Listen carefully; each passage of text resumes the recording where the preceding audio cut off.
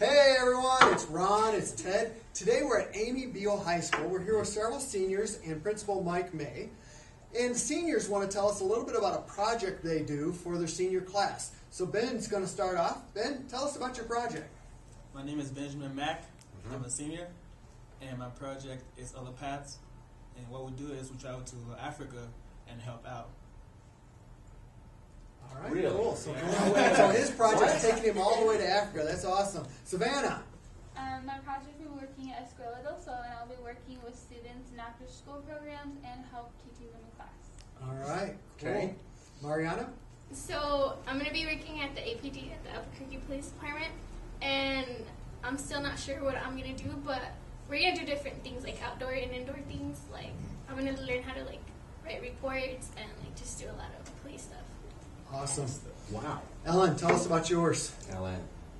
Well, I graduated this May from Amy Biehl High School, and my senior project was at Enlace Comunitario, and they work towards eliminating domestic violence in the Latino immigrant community. And I personally worked with the kids, and we worked on a psychotherapy program, which we did different activities to help them work on their issues at home. Some pretty cool stuff, Ted. Heavy duty, Ron. I never did anything like this in high school. I never did anything like this in high school either. So, it makes me wonder, Principal May, if you could tell us, what does Amy Biehl do? So Amy Biehl is a charter school in downtown Albuquerque, and our mission is to prepare students for college and for a life of a civically engaged citizen. And we do that by having each of our seniors and all, now our graduates do a year-long project out in the community. Um, they try to find their passion, something they care about, and then they connect that with a community organization. So the goal then is to really link um, what they care about, what the community needs, also with what they're learning.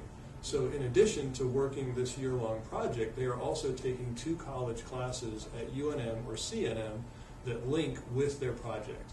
So for someone like Ellen, um, Ellen, what were the classes that you took that linked with your project? Uh, I took psychology and early childhood and multicultural education. Wow. So the goal is that these link thematically, right? That if, Mhm. if somebody's in more of a technical area, perhaps the biopark, then they're taking biology classes. But the goal is to give back, to give the students a sense of um, what it means to contribute in their community. And then hopefully these folks go on, and uh, we know from Amy Biehl, almost 100% of our graduates go on to college, and they seem to be staying in college at much higher rates than other graduates of New Mexico high schools. All right, almost 100%. Almost 100%. So, Mike, may I call you Mike? You may call me. Oh, all right. so, Mike, you know, it seems to me you could be doing a lot of different things. You know, you're very civically minded, obviously, so you could probably be running for Congress right now. Uh, you know, you look pretty athletic. I bet you could be training for the Olympics right now, maybe a great high jumper. But instead, you're a principal here at Amy Biehl. Why? Yeah. Um, well, that's a great question. And the Olympics, you know, they, they come every four years, so I still have some time for them.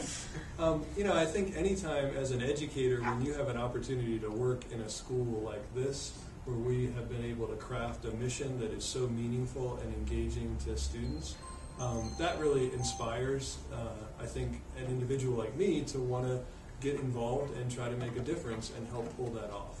So um, yeah, I, I just really enjoy the, the freedom that we have and also the accountability. Uh, Charter schools and Amy Biehl have, have said we want to try to do things a little differently, hopefully with some better outcomes, not only for these students but for our community. And I really feel like we're working hard to make that happen at Amy Biehl. That's Great awesome. answer. It's a very good answer. Thank you all for joining us today. Thank As you. always, thank you, Ted. Thanks, Ron. Thank you, our adoring audience. We'll see you next time. Have a great one. Peace.